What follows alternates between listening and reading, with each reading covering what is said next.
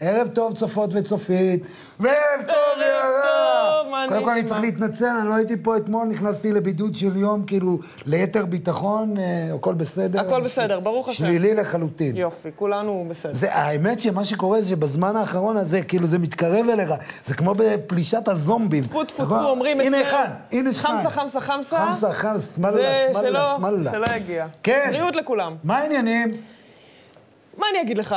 אה, יש לנו היום אה, דברים מעניינים. אני, תשמע, קודם יש כל... לנו את ישראל כץ, עוד נכון, מעט. השר ישראל כץ יהיה כאן. קודם כל. נדבר הרבה על היועץ המשפטי, דברים שהתפרסמו לפני כשעה. זה לדעתי עוד איזה רעידת אדמה בדרך, כן. עוד איזה גבול שנחצה, אבל נדבר על זה אה, בהרחבה בהמשך. אני אגיד לך מה באמת מרתיח את דמי בימים כן. האחרונים.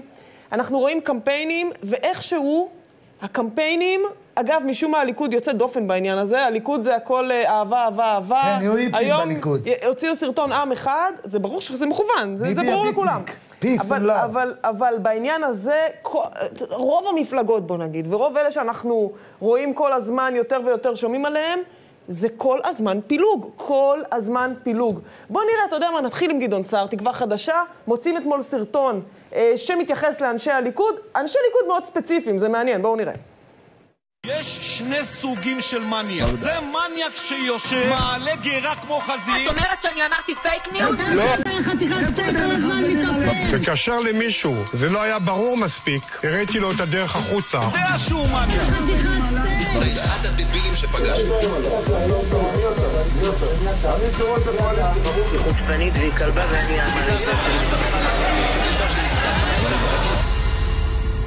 כדי לעשות סוף לממשלת הברדק, צריך תקווה חדשה. בואו איתנו. עכשיו הסיפור הזה ששאשא ביטון, מביאים את שאשא ביטון כדי כן. להראות שזה לא... אה, זה לא חס וחלילה, לא חלק גזעני. מידידיו הטובים ביותר של החבר'ה האלה בתקווה וזה החרפה. ביותר, ואגב, אני מתביישת בפני שאשא ביטון על הדבר הזה. אגב, היא ברדק, היא יושב ראש ועדת הקורונה, כמה כן. ברדק היא אחראית? ולא נדבר על המילה הזאת ברדק שהם בוחרים להשתמש בה. כן, ברדק, אני יש- אגיד מה יש זה, בטורקית. ברוסית. ברוסית. אה, כן, ב- כן. אה, מילה גסה. ויש את אה, יועצי לינקולן, כל הסיפור הזה של גדעון סער, הם מביאים בכוונה את האמירות האלה, וכן זה גזעני, וכן זה מטונף, וכן הסיפור הזה, אתה יודע, מביאים את שאשא ביטון, אבל יש לך במסגרת, כל המסגרת היא מאוד מאוד גזענית, ואנחנו גם רואים את האנשים בתקווה חדשה. בואו נראה עכשיו, במקרה מתכתב, קמפיין של כחול לבן, היום מוצאים סרטון חדש, ממש לפני כמה שעות. בואו נראה. זה מיקי זוהר. תחמן. בזמן שאתם אוכלים את הכאפה של החיים, מיקי מודה שכל מה שמעניין אותו זה שלושת הכאפים. כוח, כסף, כבוד. והקיא. זאת מירי רגב. תחמנית. בזמן שאתם טיפסתם על הקירות בסגר, היא חגגה יום הולדת רבת משתתפים. באמת מזל טוב, מירי. טוב, אנחנו רואים פה קמפיין שאומרים על חבר כנסת, יושב ראש הקואליציה, להקיא. אלה אנשים שמדברים נגד פילוג הם והסתה בממשלה כל היו הזמן. ולא סתם, אני אומרת לך, לא סתם בוחרים את אה, רגב ואת אה, מיקי זוהר, זה גזעני מאוד, וזה לא רק ניחוח, זה ממש ב- ב- ברמות הכי שפלות שיש. אותי מדהים, רגע, אני אגיד לך. מעבר ורגע, אני אגיד לך, אני. אגיד לך עוד נו. משפט. זה גם מתחבר לאמירה של אלקין, אני חוזרת לתקווה חדשה, אמירה של אלקין השבוע, שהוא מסמן את מרק ומיקי זוהר. תמיד אותם אנשים, תמיד אותם, אה, האש מופנית כלפי האנשים אני האלה. אגיד לך, לא יערה, משהו. יערה, אני לא יודע, מזר... כאילו, אני אפילו לא אכנס לעניין של ה... לעניין הגזעני, ואני רק אומר דבר אחד, מאוד מוזר שהיום כחול לבן מוצאים אה, סיפור על תחמנות, אחרי הסיפור שינון שלנו הביא על, ה... על הקומבינה שבה הגברת אה, אה, מעיין ישראלי, בכירה בכוורת של בני גנץ, שעוד נשארה, כן. תקבל אה, לדעתי משהו כמעט, לפי הפרסום, קרוב ל-400 אלף שקל לחודשיים, כן?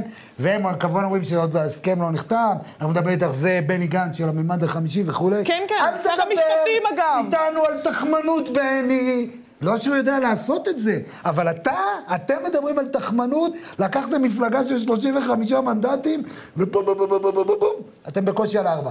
אבל אני רוצה, אה, ידיד ותיק שלנו, של ערוץ 20, הנשיא שלנו, ראובן רובי ריבלין, מה הוא אומר היום על המשילות והפקידות וכולי, והוא מרפרר למה שקורה, גם אנחנו נשוחח על כך עוד מעט עם שר האוצר. בואו נראה מה אומר ריבלין. מעל כל אלו גואה המתח בין הדרג המקצועי בשירות המדינה, המכונה לעתים בצורה מזלזלת כפקידות, פקידים, בשם מה שמכונה משילות נחצים גבו- גבולות וקווים אדומים. נחצים גבולות וקווים אדומים. הוא אמר משילות כמו יאיר לפיד, משילות. אבל בואו נראה, בואו נראה את אה, רובי ריבלין, ראובן ריבלין ההיסטורי, לפני שהוא נהיה נשיא, מה הוא אמר על. הדברים האלה, בבקשה. שימי לב, מאי 2005, על הכנסת לשוב וליטול לידיה את ההגה שניתן לה מהעם, מכוחה של השיטה הדמוקרטית, ולהעמיד במקומם את הגורמים המנסים לקנות להם אחיזה בהגה, אפילו אם מדובר בבית המשפט העליון. יש להגדיר מחדש את כללי המשחק. תן לי עוד משהו, פלייש.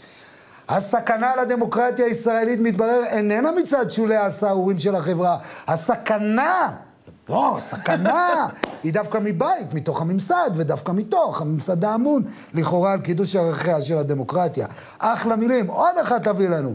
הכנסת הלא מוצגת במקרה הטוב כמשכנם הלא רלוונטי של 120 פוליטיקאים בלתי כשירים בעליל, שאין להם מושג מה המדינה צריכה. הכנסת הרי תמיד מוצגת כמכשול, כעיכוב מטריד. תמיד אמרתי שבית המשפט העליון, תמיד. בהתפשטותו לתחומים לא לו, בהתערבותו, בסוגיות שבהן אין לו ואסור שתהיה לו כל סמכות, יכרות בס... איזה דברים חמור. אני מפחד לקרוא את הדברים האלה. לכרות את הענף שעליו הוא יושב ויזעזע את העץ לא כולו. להאמין. ככה, ככה, ככה מדברים? רגע, מה עם כנופיות לא שלטון? ממלכתי. יש לנו כנופיות שלטון החוק? אני לא יודע, יש את כנופיות שלטון החוק. אה...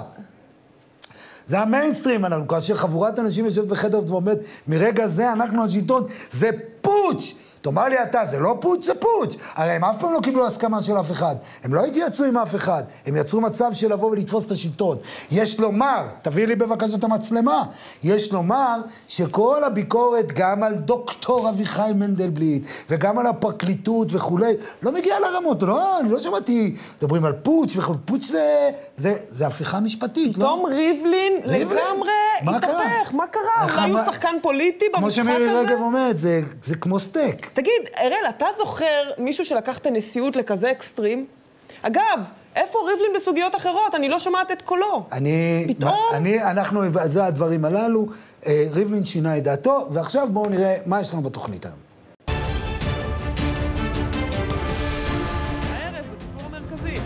בעקבות העלייה בתחלואה, הממשלה צפויה להאריך את הסגר. עימותים במערכת הפוליטית, סביב העלאת הקנסות והתוכנית הכלכלית שהציגו שר האוצר וראש הממשלה.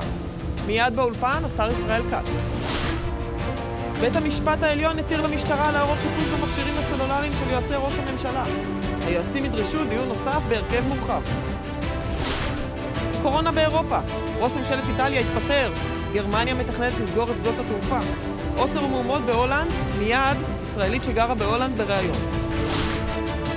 בחירות 2021. תקווה חדשה מעלה את הטון מול הליכוד. המשא ומתן לאיחודים בימין תקוע, מיד באולפן יושב ראש עוצמה יהודית איתמר בן גביר. וגם, צה"ל ומשרד המשפטים שוקלים השתתפות בכנס של האגודה לזכויות האזרח. הסיפור המרכזי, מתחילים. ערב טוב אה, צופות וצופים, ערב טוב יערה, אנחנו חוזרים. ואנחנו אומרים שלום, ערב טוב לשר האוצר ישראל כץ, שלום אדוני. שלום, ערב טוב. אה, בוא נפתח בחדשות האחרונות שקשורות, אה, אתמול אתה איימת על שאול מרידור בנקיטת אמצעים משפטיים, אם הוא לא יחזור בו, היום הוא אומר לך, בעצם לפי המכתב שלו, אני אקצר, הוא אומר שוט. אז מה הולך להיות? עכשיו לרידור הוא רק כמשל. אני בעצם נכנסתי למשרד האוצר, מצאתי מציאות מאוד קשה. מאות אלפים הפגינו ברחובות, וכשהתחלתי לבדוק ועולה מחאה, הם, הם צדקו, פשוט פגשתי אותם והבנתי שהשיטה נבנתה, בסדר, ראש הממשלה וכולם רצו באמת לסייע, אבל הפקידות בראשות מרידור בנתה שיטה שיש לה מטרה אחת, שהכסף לא יגיע. והכסף לא הגיע לאנשים. אני פתרתי את זה, הבאתי תוכנית אחרת, היה שם עימות. בסוף זה עימות בין התפיסה שאני מייצג, שראש הממשלה מייצג, של כלכלה חופשית ורפורמות, עם, עם, אה, עם חמלה ורגישות חברתית. הם פשוט את החלק השני שכחו, והסיוע לא הגיע. ומאז הבאתי תוכנית של 90 מיליארד, העברתי אותה ביד רמה גם בכנסת, והסיוע זורם ומאפשר לעסקים, למובטלים אה, ולכל העצמאים בעצם לשרוד את אתה התקופה יכול הזאת. לדבר איתנו במספרים מה זה כסף שלא עבר? פשוט עשרות מיליארדים תוקצבו, לא עברו. לא הגיעו. עכשיו, אני פוגש את אותם אנשים היום. גם פגשנו את נציגת, אחת שהפגינה בשלוש בלילה מול ביתי, והוצאתי לה נקטרינות, לינדה אלבז מאור עקיבא. עובדי הבמה, לא האומנים. והיא אומרת, הכל השתנה. ברגע שהגעת, היא אמרה את זה, הכל השתנה, מקבלים את המענקים. כי מה, כי מה זה הפקידים? אני רוצה להבין. האיש הזה מנע סיוע כי מהציבור. מה? כי אנחנו שמענו בזמן אמת, הרי צריך לומר, בהתחלה כולם היו באיזשהו מקום, אה, עם, לא ידעו לאן זה לוקח, לאן הולך, לא, הולכים הדברים.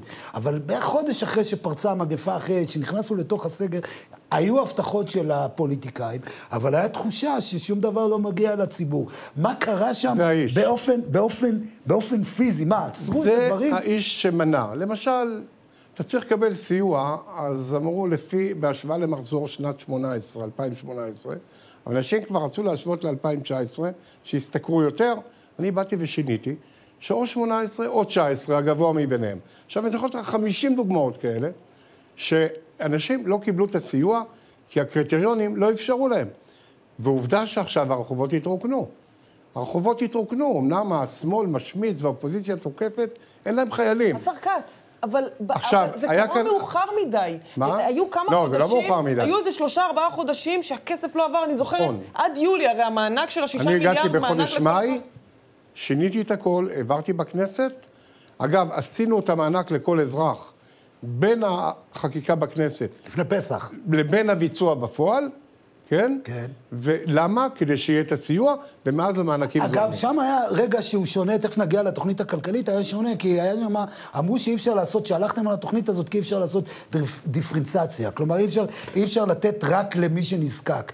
לא, זה, ו, ונניח בתוכנית עכשיו, בתוכנית החדשה, אתם כן מדברים על העשירונים התחתונים, ולא, נגיד, לא, נכון. לא על המשתכרים אז הגבוהים. בתוכנית ההיא, בתוכנית ההיא, עשו מגבלה עד 650 אלף הכנסה לשנה, כי אלה מעל 650 מדווחים למס הכנסה, אז ידעו. עכשיו עבדנו מול הביטוח הלאומי, והוא ידע לתת לנו את העשירון השביעי, אה, עד 13 אלף. טוב, אני ברשותך, אנחנו נחזור רגע, לתוכנית אני- מה שאני אומר- אנחנו מה שאני אומר, אני- אני א', חייבת להבין עם- שאול מרידור. שאול מרידור, צריך להגיד, זה... אה, אה, לא, זה מאוד חשוב. כן, כמשל. כי כי הוא לא. טוען כלפיך שאתה שיחקת עם המספרים. אגב. שמעתי את פרופסור שמחון אומר דברים אז בוא תסדר לנו את התמונה.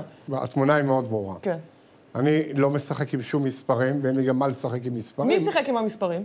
מי ששיחק עם השקרים זה שאול מרידור. אגב, לא פעם ראשונה, עשה את זה גם לשר הקודם. פרופסור שמחון שאומר ששאול מרידור שיחק עם המספרים. הוא לא היחידי. נגיד בנק ישראל יכול להעיד, וכולם. צריך להבין מה היה. אז, אז, אז יש פה עניין פלילי, ככה, כמו, אני, כמו שאני רואה את זה, יש פה עניין פלילי. אני אתבע אותו לדיבה על שני דברים, אם הוא לא יחזור בו.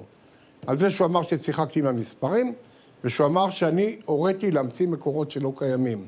הדברים האלה הם שקר מוחלט. אגב, במכתב התגובה שלו, שנוסח באופן מתחכם, הוא כבר לא מזכיר את שני הדברים. אז הוא אומר, אני לא, אומר, אבל הוא אומר לך, בוא אדוני, בוא נלך לבית משפט ונדון על הדברים. ניתן לו גם את התענוג כשתגיע הזמן. כרגע הנקודה, יהיה יהיה בית משפט? אם הוא יחזור בו מהדברים, אז הוא יחזור בו. כרגע הוא כבר לא מזכיר אותם בשלב כן. הראשון. הוא כתב האשמות כלליות כרגע, שניהול, חציית קווים אדומים. הבחור משקר בעניין הזה, ואני אסביר גם למה. משום שאנחנו הבאנו את התוכנית, ובא נגיד בנק ישראל ואומר, יש פער של 20 מיליארד שקלים בין התוכנית לביצוע. ואחרי זה הוא התפשר על 9 מיליארד שקלים. אז אמרו למרידור, אנחנו עמדנו להביא עוד תוכנית סיוע, ביחד עם ראש הממשלה, והיו דיונים. נאמר למרידור, לך תבדוק אם יש מקורות. הוא בדק שלוש פעמים, חזר ואמר, אין מקורות, כל מה שכתוב יבוצע. בדיון סופי אצל ראש הממשלה עם מרידור, עם נגיד בנק ישראל ועם כולם, וגם שמחון היה, אני לא מדבר. ואמרתי, מאחר ואגף התקציבים ממונה על האומדנים, והוא אומר שאין, אז אין מקור, ואנחנו הולכים לכנסת ונביא מקור חדש, וכך עשינו. זאת אומרת, לא רק שזה לא קרה, אלא באופן ברור ומוצהר, הדברים נאמרו. עכשיו, למה הוא עושה את זה? נו. כי הוא עמד להיות מפוטר, הוא חשב שיש בחירות, הוא חבר לאופוזיציה, עבד איתם בגלוי, כמו שהוא עושה עכשיו, אגב, הוא סגן פוליטי במסווה של פקיד. עכשיו, ברגע שלא היו בחירות, מי הוא עבד? ברגע של... הוא עבד גם בזמן כחלון, כשהיו בחירות, אנחנו פגש את בני גנץ. עכשיו, ברגע שהתברר שאין בחירות, פגשתי את היועץ המשפטי לממשלה, אמרתי לו, אני מתחיל בהליך הדחה, אין לי אמון באיש הזה, והוא נתן אור ירוק. כעבור שעה, מרידור הניח את מכתב ההתפטרות המבוהל, עם השקרים ועם הדברים, כאילו יש תירוץ למה הדברים קרו. אז אני רוצה, אבל אני לא אאפשר לפגוע בשמי בשתי נקודות. לא אמרתי לשנות מספרים, ולא אמרתי להמציא תקציבים. כל ההכפשות האחרות שלו לא מעניינות אותי. אבל אלך איתך לא בכל זאת. על הצד המקצועי. יגידו? לך, כאילו, פקידי האוצר, ואני חושב ש... הדבר העיקרי שהוא מנע סיוע מהציבור, היה כאן ויכוח, ואני שחררתי את זה, זה לא פשוט. השר כץ. הם אנשים אני- ששלטו במערכת, אני, ואני אבל אנחנו יודעים שהם. שולטים במשך שנים, עוד מהימים ש...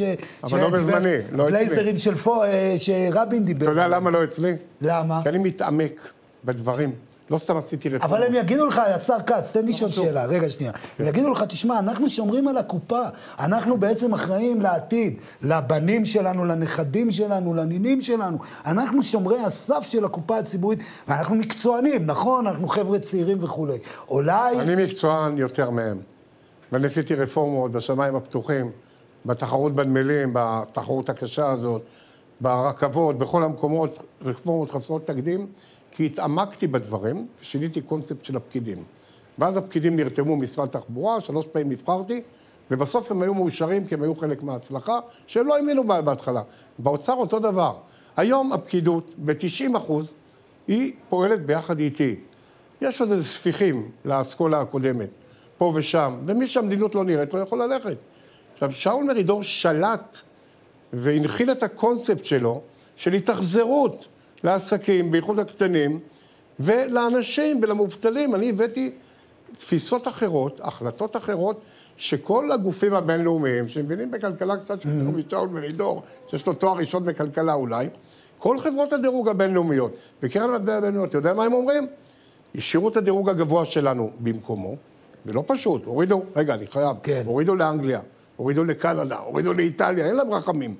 ואמרו, שיבחו את תוכניות הסיוע, אמרו, תמשיכו בסיוע, תמשיכו לצד השמירה על אותם יסודות של הכלכלה. השר כץ, אם ולכן אני הולך איתך לתוכנית אז עם שאול מרידור, עם כל הכבוד, שעכשיו התברר שהוא טעה באומדנים בסוף השנה, כן, עם כל הכבוד, הוא לא, הרמה המקצועית שלו היא בכלל לא נושא דיון, כן. אלא האחיזה שלו בגרונם של אזרחים ועסקים, שאני תוך התעמקות ומאמצים, כמו שידעתי בנמלים, כמו שידעתי במקומות אחרים, שחררתי אדוני את שר הדבר הזה. האוצר, ועדיין ביום הש- השבוע אה, ראש... כרגע הוא מקרטע בשקרים, מה זה חשוב? זה... אני חושב ש... אגב, אבל- התעמולה של כחול לבן והוא, זה כבר אותם אה. אבל אנחנו... בגלוי. אבל הנה אנחנו עוברים רגע, אנחנו עוברים, כן. אז קופצים לג משאול, תוכנית אה, מרידור. הסיוע האמיתית שהבאנו. ובדיוק, אתם, אתם הצגתם תוכנית סיוע כן. אמיתית, תוכנית כלכלית, באים ואומרים לכם, שומעים גם את בנק ישראל מביע ביקורת, אומרים לכם, אדוני אה, שר האוצר, אדוני ראש הממשלה, זו כלכלת בחירות.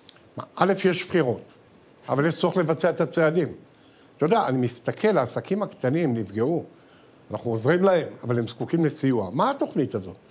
רשת הביטחון בסך 200 מיליארד שקלים פועלת ותמשיך לפעול, ומקבלים את המענקים. אבל לקראת הפתיחה, שתהיה עכשיו, תוך כמה ימים, פתיחת המשק, זה אירוע ענק.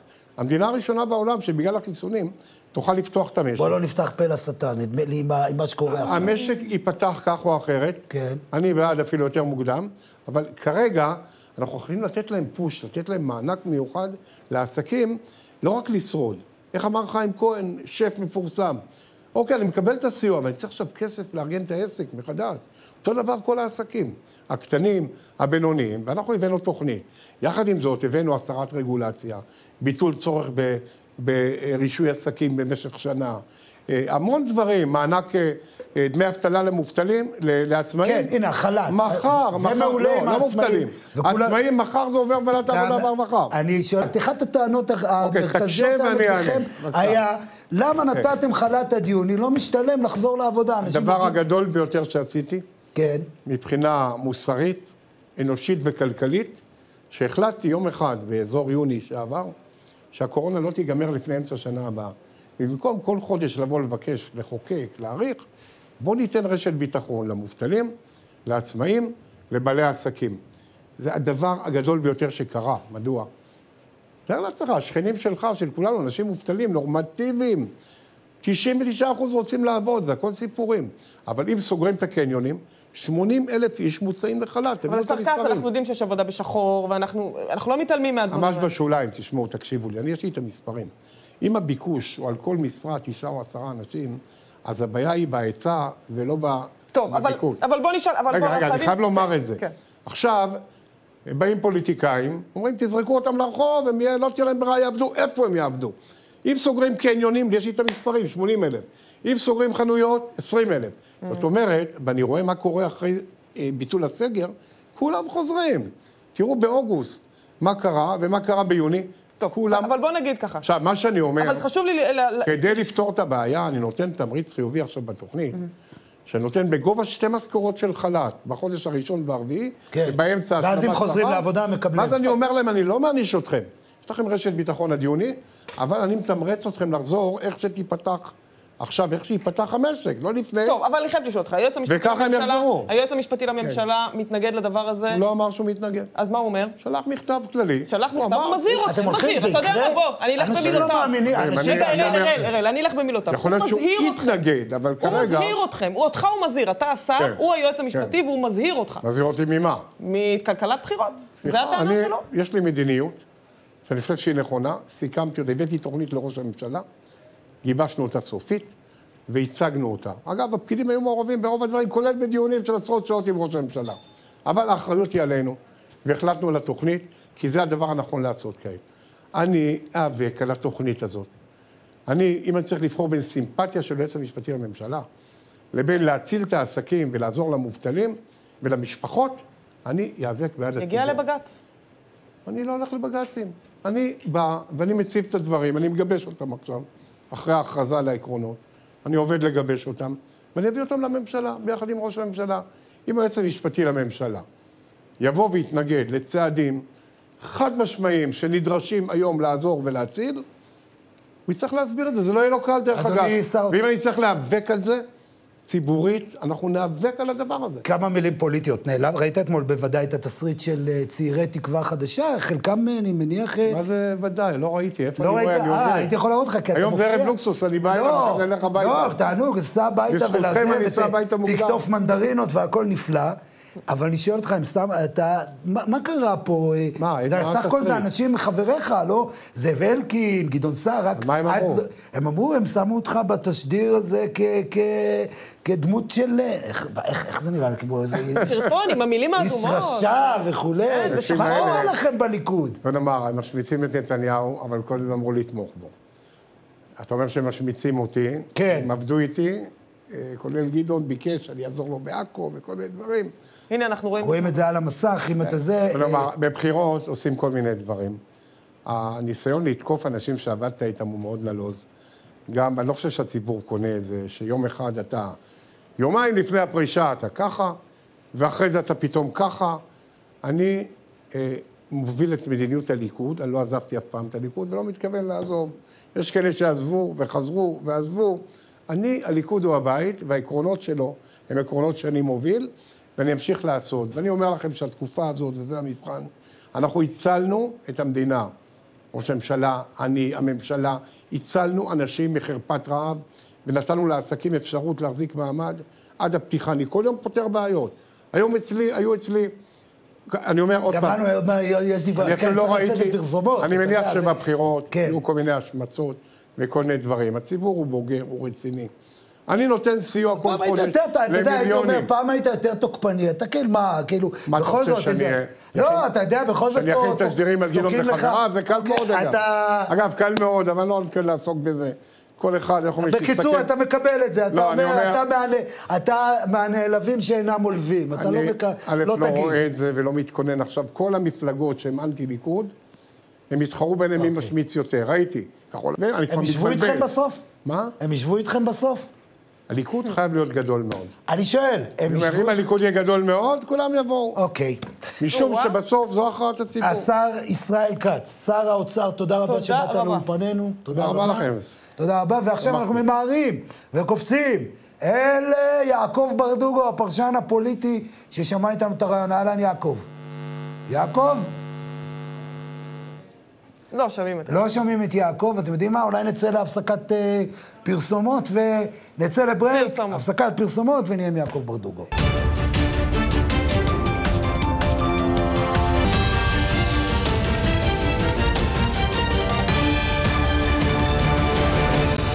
חזרנו, ואנחנו עכשיו שומעים היטב, אני מקווה, את הפרשן הפוליטי יעקב ברדוגו. שלום יעקב. שלום אראל, שלום יערה. שלום, שלום. טוב, שמענו את ה... אני מניח גם אתה אה, האזנת ברוב קשב לרעיון עם שר האוצר, זיהית אה, נקודות משמעותיות? הנקודה המשמעותית ביותר זה שהתוכנית הכלכלית בעצם אה, יוצאת לדרך על אפו וחמתו של היועץ הכלכלי, של המתנגדים אה, ממשרד, אה, לא יודע מאיזה משרד, כי יש לו חמישה משרדים של בני גנץ, הוא קודם כל מתנגד, הוא לא יודע אם הוא מתנגד בתור שר המדע או שר הביטחון או שר המשפטים או שר אה, אה, ראש הממשלה החלופי, הוא קודם כל מתנגד. מה ששמעתי אצל אה, אה, שר האוצר זה בעצם נחישות אה, כדי להמשיך בקו הזה. אנחנו נמצאים בעיצומה של מלחמה עם אה, מה שנקרא תעתוע, תעתוע בעלילה, הנושא של התחלואה היה צריך לרדת, זה הזמן שהיה צריך כרגע להרגיש את החיסונים, להרגיש את הסגר, אבל כנראה אנחנו נמצאים במקום אחר, ולמרות זאת, אומר שר האוצר, אני ממשיך בקו, אומר ראש הממשלה, אני מביא את התוכנית, זה בעצם הסיפור הגדול. אתה רואה תרחיש שבאמת אה, מנדלבליט אה, עוצר באדם, או אולי אם זה יגיע לערכאות בג"צים, באמת בסוף ראש הממשלה ושר האוצר לא הצליחו להעביר את התוכנית הכלכלית? במאה אחוז אני רואה שהיועץ המשפטי מחבל בתוכנית, אם אני אשתמש במילה הזו, מחבל. אה, בוא נגיד, הוא ינסה להעביר חלקים, וחלקים הוא ימלמל מתחת לשפה, וחלקים יגידו שיכתבו איזה חוות דעת. יש פה מלחמה, הרשות הפקידותית משחקת על מלא מלא במערכת הבחירות. ראינו עכשיו את ההחלטה של אה, מנדלבליט פתאום לעשות פליק פלק לאחור, סוכוארה לימין, ולהגיד שאותו כסף שהוא אישר, שנתניהו קיבל אה, מבן דודו, כרגע הופך להיות למתנה אסורה, ואולי אפילו לתיק משפטי חדש אה, על מתנה אסורה. אנחנו רואים את הרשות הפקידותית משחקת במגרש, לכן אני מאמין שהיועץ המשפטי ישים מקלות בגלגלים, ואחריו כחול לבן, ואחריו הכנסת, וכן, האנשים בגבעה. Okay. מי אוקיי. שחושב שהם לא משחקים במשחק הפוליטי, טועה. עכשיו אני כן רוצה לחזור איתך למערכת הפוליטית. נדמה לי שאנחנו רואים איזשהו, אה, איזושהי תזוזה, דינמיקה, לפיד עולה בגוש מרכז-שמאל, סער, אה, סער נחלש. אה, אתה מתחיל לראות לאן, זה, את ה, לאן המערכת הולכת לקראת שבוע הבא, לקראת איחודים וכולי? בהחלט. קודם כל זה ימים דרמטיים אה, של גדעון סער, מהרגע שבו אה, לפיד הופך להיות ראש המחנה, מחנה השמאל, אותה תקווה, אותו חלום שגדעון סער אה, חלם, והוא אמר, אני אמכור לכם, אני הוא זה שיוכל להחליף את נתניהו, ברגע שהאמת הזו יוצאת החוצה, אנחנו נראה ירידה גבוהה מאוד של גדעון סער, אה, גם בגלל שהוא לא מייצג את הימין וגם בגלל שהשמאל מתחיל להתפכח ממנו, ופה גם אנחנו מזהים את המהלך הגדול של שאשא ביטון, האחים כחלון וגדעון סער. הרצון שלהם הוא לפגוע בבסיס הימין כדי להעביר אותו לשמאל ולהכשיל ממשלת ימין. אם אני מזהה, אני מזהה את גדעון סער יורד לשישה, שבעה מנדטים, אבל מתוך כוונה אחת ויחידה לבלום את uh, מה שנקרא את אה, גוש הימין מלהרכיב ממשלה. יעקב ברדוגו, הפרשן הפוליטי, תודה רבה לך, תודה. לילה טוב. תודה רבה. ועכשיו אנחנו לעניין אחר, אה, בית המשפט העליון ישב בשבתו אה, בבג"ץ, לא כבג"ץ בעצם, כן, כן כבג"ץ, ודן בעתירה של יועצי ראש הממשלה על החיטוט בסמארטפונים שלהם. אה, באייטם הזה צריך להגיד, נעשה גילוי נאות. מסרתי עדות בפרשה. מסרת עדות, בפרשה. עדות בפרשה. איתנו שניים, בזום, עורך דין דוד פטר, שלום לך אדוני, נגיד לך שלום. ו... אבל אנחנו נפתח עם אה, פרשננו המשפטי שחוזר אלינו אה, אחרי החלמה, עורך דין יוסי פוקס. כן, ערב טוב.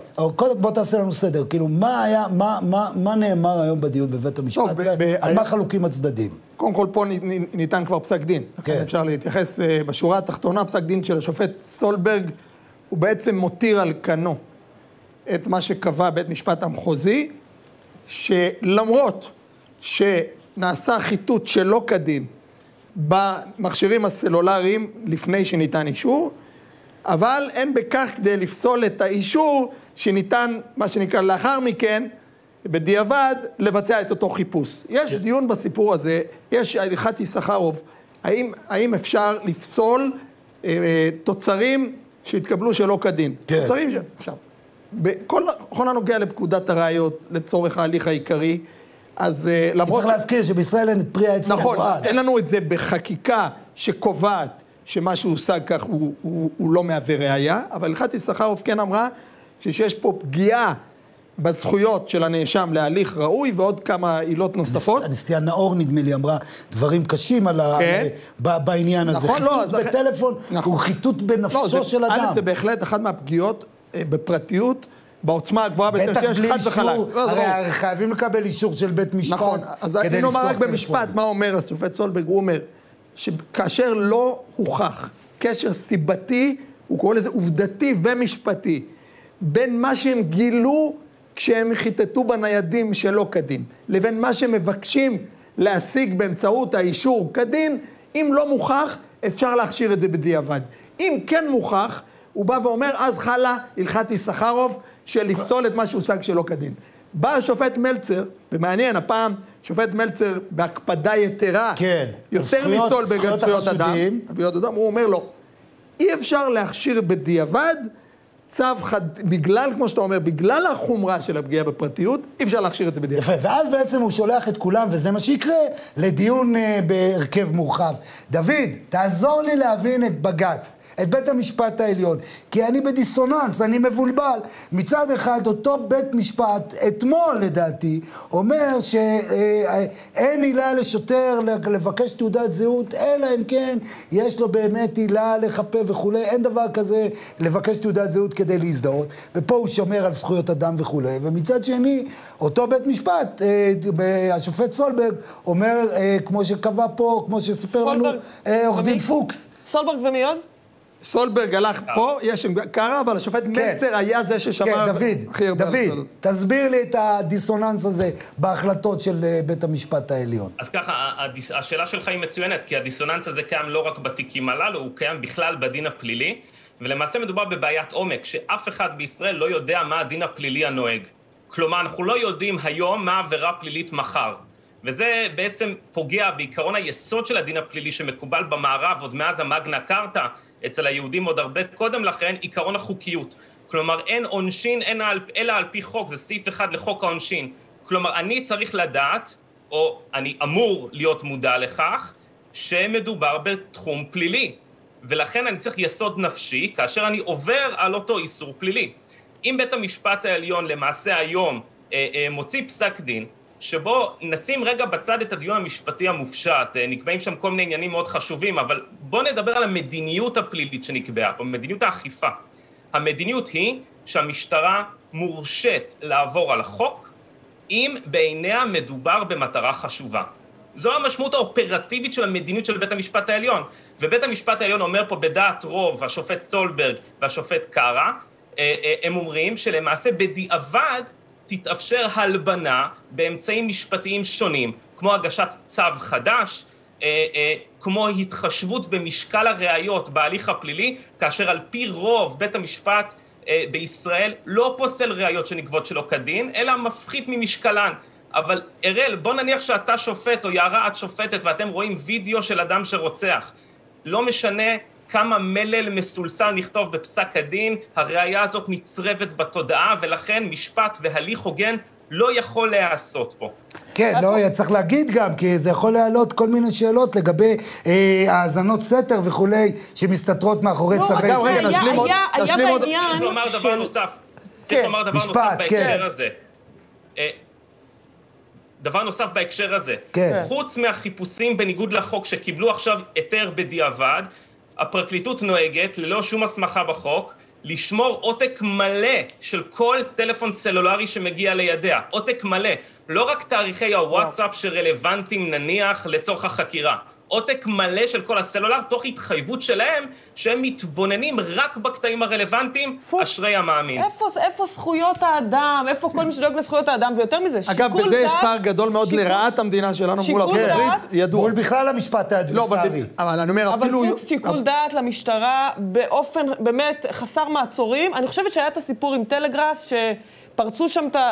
ממש הכריחו אותו לתת את הטביעת אצבע וכולי, זה, זה גם... לא, בעניין הזה, אה, זה חלק גם באמת מה שאומרים מדינת משטרה ופרקליטות, אין צל של ספק שהפסק דין הזה של סולברג לא עוזר למאבק בשיכרון הכוח של הפרקליטות והמשטרה. להפך, אה, זה פוגע, מתחבר. הוא פוגע. זה, אגב, זה אותו סולברג, נדמה לי, שמגן בכל כוחו על, על הטענות בנושא הקלטת, הקלטת אה, שאסור להשמיע אותה של... נכון, אגב, חשוב לציין שזה באמת לא סוגיה של ימין-שמאל, אפילו לא של שמרנות ואקטיביזם משפטי. זה סוגיה של זכויות אדם. או, בול. של ואגב, משפט. בזכויות אדם ראינו לעיתים שגם כאלה בגישה יותר פרוגרסיבית בנושאים של ימין-שמאל, כן, הם אבל, יותר אבל כל לטובת פעם ולהפך. מעניין. שבאירוע, הרי האירוע הזה של הטרדת האלו הוא אירוע פעוט, הרי ברור, גם העד עצמו אמר שהוא לא הוטרד. כן. ברור שיש פה, פה משחק מאוד מאוד מסוכן, אבל נדמה לי... אגב, יהיה דיון נוסף. נדמה, יהיה דיון נוסף, אבל נדמה לי, ואם תיתנו לי את המצלמה, האצבעות צריכות להיות מופנות לחברי הכנסת, כי הגיע הזמן, אחרי 72 שנה,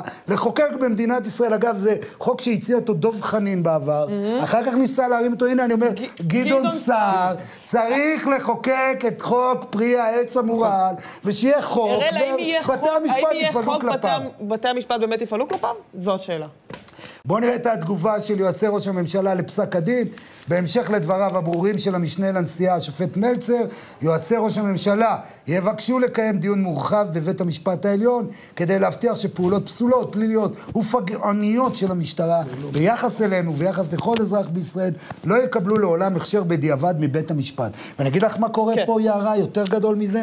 בזכות משפט נתניהו, ובזכות זה שאנחנו עוסקים בזה והרבה מאוד צופים, אנחנו נחשפים לפרקטיקות. כן. אה, באמת, אני רוצה, אני רוצה להתנסח בזהירות ובעדינות וביושר. מאוד מאוד בעייתיות של הפרקליטות. הם יודעים מה כתבה השופטת נאור על חיטוט בטלפונים. הם יודעים את הדברים האלה, תכף הוא, הנה הוא מתחבר, אה, פלייש. הוא מתחבר, איתמר כבר נפנה אליו. הם יודעים, אבל הדברים נחזו, אבל אני לא מאשים כבר את בית המשפט. במדינת ישראל הפסיקה פשוט, אה, אם הכנסת לא מסוגלת לבוא ולקבוע פרי העץ המורעל, זה ראייה לא אראל, חוקית אני לא מאמינה שחקיקה תעזור בעניין הזה. בוודאי, רק לא חקיקה. מאמינה, לא הנה, מאמינה עורך דין. בן גביר, תסכים לא, לא, איתי שצריך חקיקה בנושא פרי העץ קודם המורעל. כל, גם לפי הפסיקה, גם לפי הפסיקה, היום, אחרי שאנחנו בהלכת יששכרו, ואחרי שאנחנו בכל מיני החלטות והלכות שבתי המשפט אומרים, נכון, אה, פרי העץ המורעל לא חל במלואו, אבל עדיין צריך ליישם בעידן של חוקי יסוד, היה צריך אה, אה, לפסול, ולדעתי השופטים כאן עשו טעות, צריך להגיש בקשה לדיון מורחב. אה, אגב, זה לא בג"ץ, זה דיון אה, פלילי. כן, דיון פלילי, אבל, סליחה. אבל, אבל, אבל כן, דבר אחד צריך להיות ברור.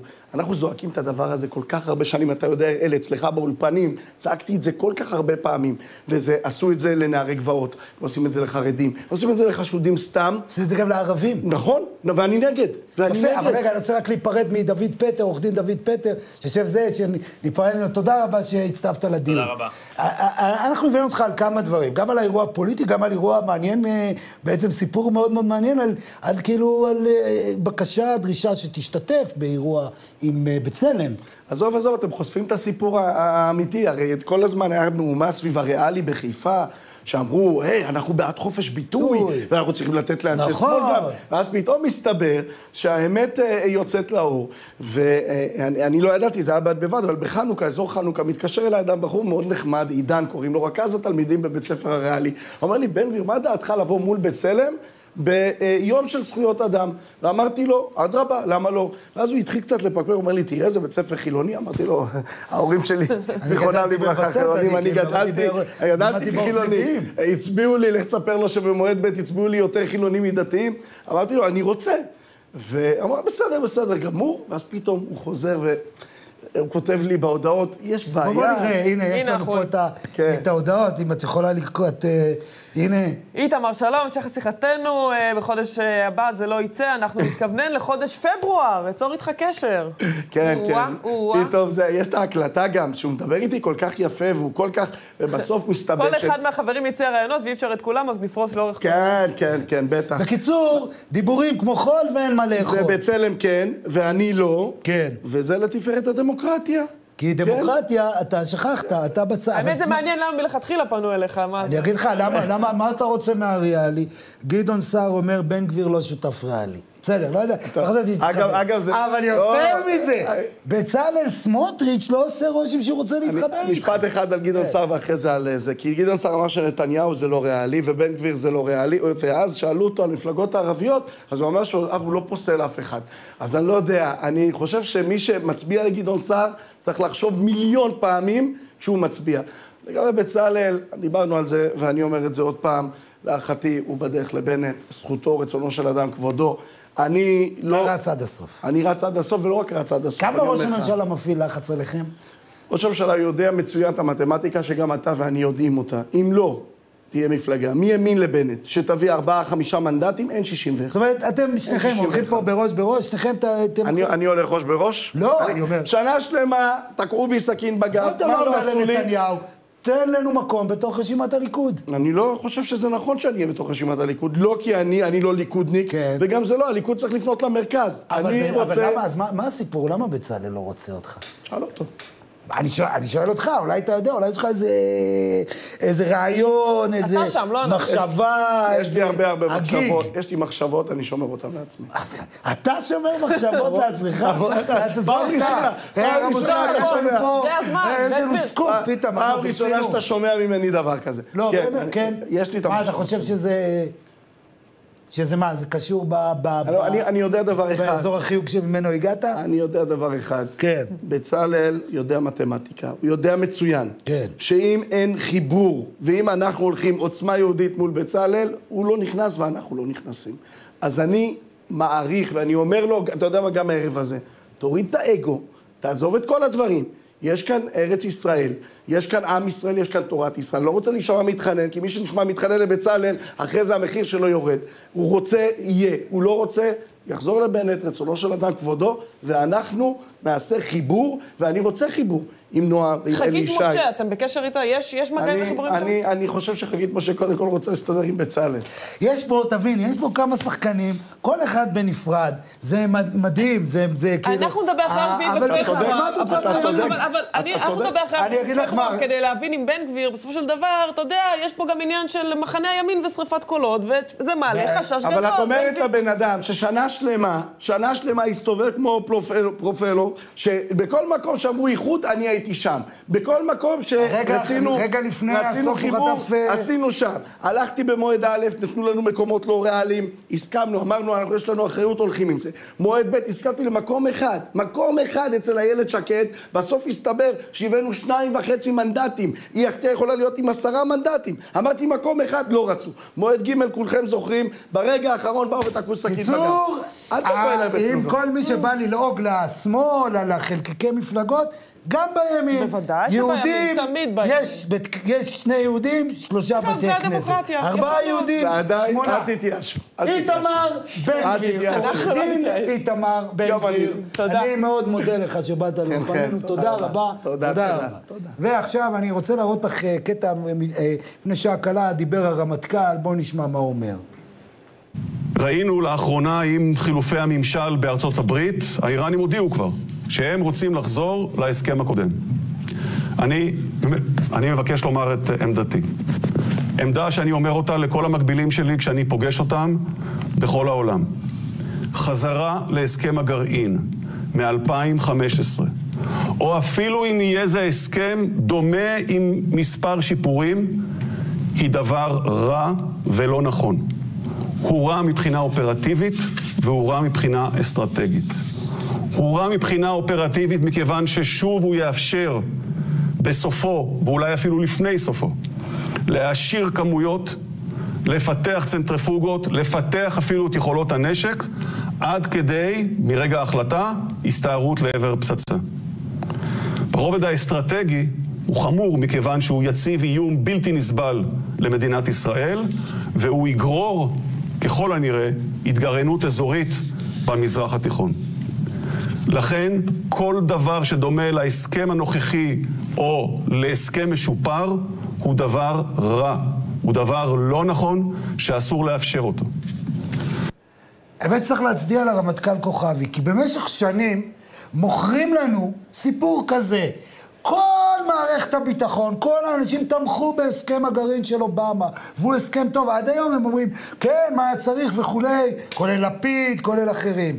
בא הרמטכ"ל כוכבי, למרות שכולם מסמנים אותו איכשהו בצד הזה ואומר, חברים, הוא לחלוטין בעמדה של יוסי כהן ובעמדה של ראש הממשלה נתניהו ובעמדה של ראש המל"ל, והוא אומר, הסכם הגרעין היה רע ואסור לחזור אליו. אז אל תמכרו לנו חרטות. זה אומר הרמטכ"ל כוכבי וכל המומחים למיניהם. בקיצור, שבו בלול. דיבר בעד עצמו. פרסומות.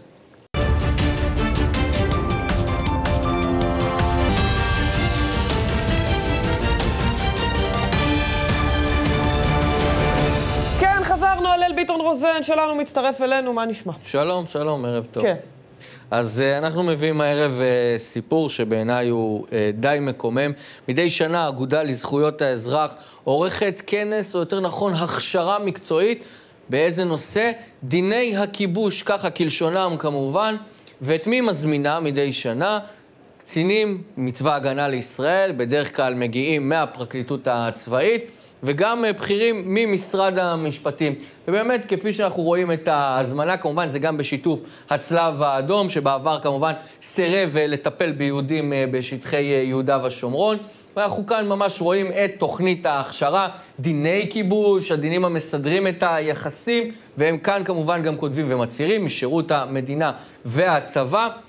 וכל הדברים הללו באמת נותנים כאן איזושהי תמונה אחת שבעצם צה"ל משתף פעולה עם מי שבסופו של דבר בא לפגוע בו. פנינו גם לצה"ל וגם כמובן למשרד המשפטים, ששם פחות אנחנו מופתעים, כי בעבר מנדלבליט אסר על אמיר אוחנה לבטל השתתפות של אחד מבכירי משרד המשפטים באותו כנס אה, אה, שערורייתי. ומה צ... צבא ההגנה לישראל אומר לנו? קיבלנו את הפנייה ואנחנו בוחנים את השתתפותנו במקום לגלגל אותם מכל המדרגות ולהגיד, חיילי צבא ההגנה לישראל לא השתתפו בבושה הזאת. אני מבטיח שנמשיך לעקוב. לגמרי. ו... אני אגיד, אז חלק, מה, חלק מה, מהבעיה הכללית היא לא נכונה רק לצבא, אלא בכלל לכל המגזר, כן. לכל המגזר הציבורי. הכניסה של גופים, זה לא משנה. אני נגד כניסה של גופים מימין ונגד כניסה של גופים משמאל. מדינת ישראל יכולה לבנות את ההכשרות שלה בכוחות עצמה, ובוודאי שברגע שמכניסים ארגונים פוליטיים, אני לא אלך, אני לא חייב... אה, אה, אתה, אתה נכנס למה שנקרא לאזור השמד, אז השמדה במטאפורה, מטאפורית לא טוב. הלל ביטון רוזן, תודה רבה. תודה רבה. לכם. תגיד, אראל, איפה האגודה לזכויות האזרח בכל מה שקשור לזכויות נחקרים? לא שומעים את קולם? לא, אני, אני אגיד לך יותר מזה. אני שואל איפה הסנגוריה הציבורי. הסנגוריה הציבורית לא מדברת, הסנגוריה הציבורית לא קיימת בסיפורים הללו וכולי. בינתיים אנחנו רואים צבא פוליטי. אגב, גם כדי... מנדלבליט יכול להתערב בדברים האלה, יש לו את הסמכות. כן. להתערב ב... בעניינים האלה. אבל הנה, תוך כדי החילופים, תוך כדי שאנחנו רואים uh, חילופי, חילופים uh, בין גברים, היינו דגלן עכשיו, אז אני מסמן עם, ה, עם הדגל. Uh, חודר לאולפן ינון מגל, ערב טוב, ערב טוב. מה העניינים? מה קורה? הכל טוב? לא יכלת להביא את הסיפור העיתונאי שלך, לפוצץ אותו פה מה, מה שהוצאתי בעינון ניוז? כן. עינון מה? ניוז. אנחנו לא בני אדם, אני לא חבר שלך. לא חשבתי עליך אפילו, לא עברת לי בראש. זה, פוגעני, זה פוגע, אתה יודע. לא יודע, קיבלתי חומר, הוצאתי, אתה יודע, לא... לא, כאילו, ואתה מביא את זה ככה, סיפור טוב. כן, בוא, תגיד לצופים, שידעו על מה דיברנו על זה כבר. דיברנו, כן, את הזכרנו. אחת מהיועצות הבחירות של גנץ. לא, מה שיפה, שכחול לבן, גנץ עושה פרסומות על מיקי זוהר ולהקיא, להקיא, תחמן, איכס, להקיא. כמה כסף לחודשיים? להקיא. הם, אצלהם, אין עניין, חצי מיליון, חצי מיליון שקל לחודשיים, כן? אבל זה לא תחמנים, לא, זה לא תחמנים, זה ישראל הראשונה. בישראל הראשונה אין תחמנות. זה מהשמיים, זה מגיע, אתה יודע, זה מתיישב נכון. זה יפה, זה כמו גלימה. זה בקלאסה. זה מה נקרא... אצל מיקי זוהר ומירי רגב זה תחמנות. זה מיקי מכלוף זוהר. תבין, בדיוק. בדיוק. תבין, אם זה חצי מיליון... ומירי סיבוני. מירי סיבוני. אם זה חצי מיליון, אז זה כבר השם חצי מיליון, זה, זה מתנגן אחרת. מה יש לך בתוכנית היום? יש לנו הרבה דברים, מלא מלא דברים. מלא מלא דברים זה חזק. מלא דברים. מלא, זה זה וזה וזה. וגם מלא דברים.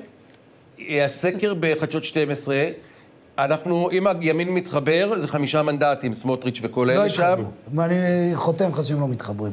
אתה רציני. כן. אתה גם לא יכול לחבר. הם לא התחברו, זו התחושה שלי מהשיחות שאני עושה בימים האחרונים, שאני מנהל עם מקורות. אז בואו נעשה חרקיר וזהו, ינון, אתה כאילו, לא- למה... ינון, אתה לא הופך למה? ב-92 זה עבד נורא יפה. גמרנו עם אה, ינון, אוטובוסים. אתה לא הופך שתיים וחצי ושתיים וחצי לחמישה, זה... אבל אני אומר לך מה היה בסקר, שהם לא כן. עוברים בלי איחוד, והם כן עוברים כל יום חמישה עם איחוד. אני לא זה, אני אומר מה מנו גבע אמר, לא מה שאני אומר, אה, אוקיי? לפיד עולה עוד, ויש איזה מגמה, לפיד עולה, לפיד- שר יורד. כן, שר עדיין יורד. לא זה, אבל... כן, לפיד לא, יעלה. אה, אברמוביץ' אמר שהמנדט הנוסף שקיבל שר זה בזכות בני בגין, שהוא נותן הכשר של... אה, של זהו. בג"ץ. יש רק בעיה אחת, זהו. כן. שר לא קיבל עוד מנדט. אם כן, אה, סיימנו את תוכניתנו, אנחנו מודים לכם, מיד אחרינו, ינון מגל והפטריוטים שלו. תודה רבה. ולהתראות.